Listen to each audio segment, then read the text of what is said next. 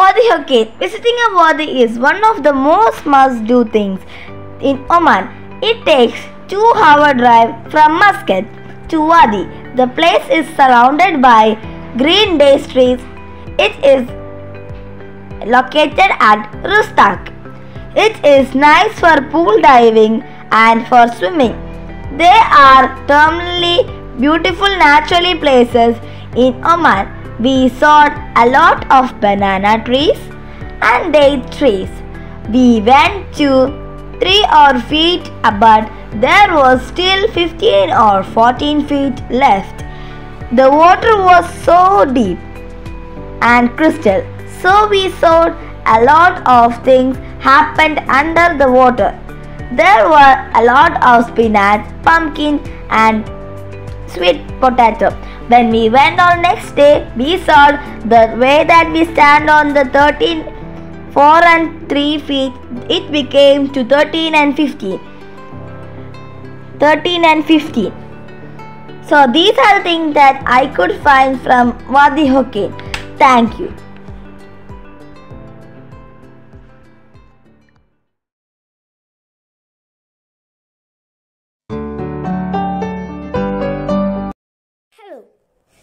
Think, what is in Nizwa, right? In Nizwa, there's a place called Belisit. Belisit is a place that is covered with snow. Not only snow and mountains, there are sheep, there are caves. It is so wonderful. Before going to Belisit, there is a place called the Al Hoota Cave. The Al Hoota Cave, there are some trains, some trains. We can book it, we can go. For tourists, it's wonderful. I hope they will love it. Now, let's get back to our Belisit. Belisit is covered with snow. Snow is just like fog. It is covered with mountains, caves, tiny, tiny caves, sheep, white, black, brown, lots of color sheep, and lots of dry plants and green plants.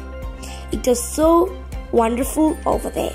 I hope every tourist will visit that place. Thank you.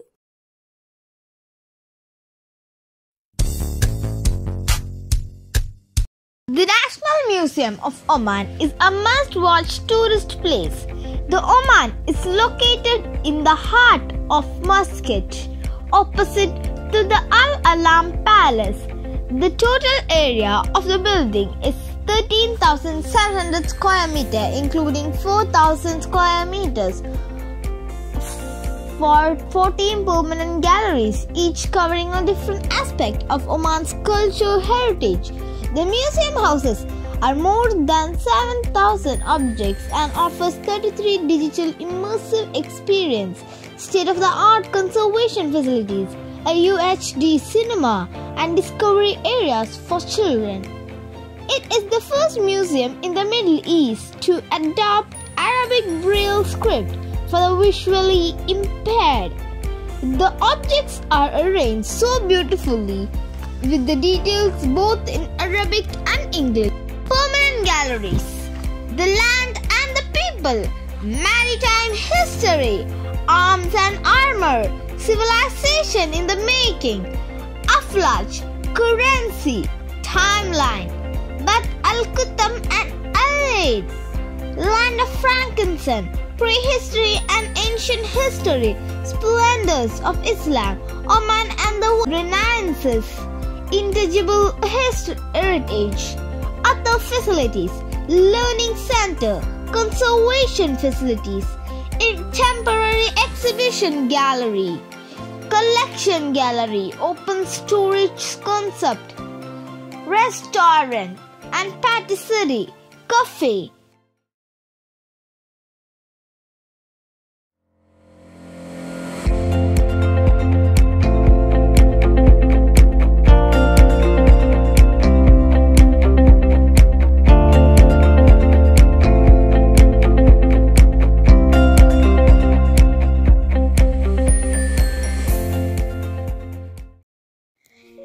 Among the lush fields full of roses and pomegranates on Jebel Akhdar, the great Mountain, lies not one but three abandoned villages Al Akar, Al Ayan, and Ashiraija.